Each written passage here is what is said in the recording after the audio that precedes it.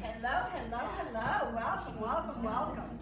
Please know that we will be videotaping this uh, wonderful summer camp that we're having here, and it will be up at www.youtube.com forward slash user forward slash talent forum. So if anybody would like to see the wonderful things we're up to, we are so happy to share. We're really proud of what the kids have done. Normally our summer camp is three weeks long. This is the first time we've only done two weeks. Two weeks, Tuesday, Thursday, from one to three thirty. Which, with what you're gonna see today, everything that they learned, they got almost two hours.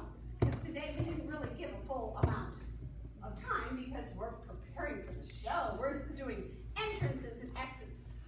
But at the same time, I hope you really give them a pat on the back. They have learned so much in two weeks, I can't wait to share with you.